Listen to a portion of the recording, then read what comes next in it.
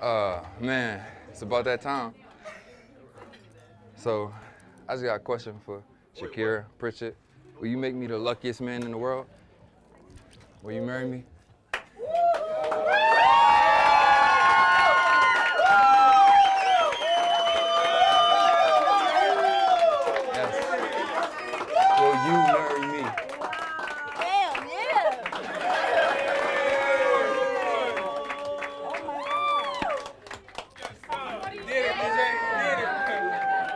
She said yes!